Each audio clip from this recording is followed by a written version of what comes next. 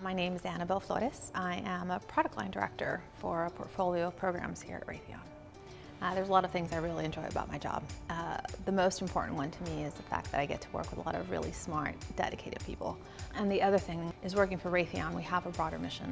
The things that we do today on a uh, everyday basis is really about keeping our world safe. And there's a lot of pride in our teams and in what we do that we get to make that kind of a difference in the world. When I decided to become an engineer, uh, I applied to MIT. Uh, it was a, a, dream shot. It was uh, a big goal of mine to try and get to the best school in the world. And I got in. You know, growing up, I always liked math and science and I was often told, well, that's not really for girls. But it's what I like to do, so I should be able to do it and, and be good at it. That being a girl wasn't a problem. So it was important from very early on to just ignore what other people said about what I should and shouldn't like and really pursue that moving forward.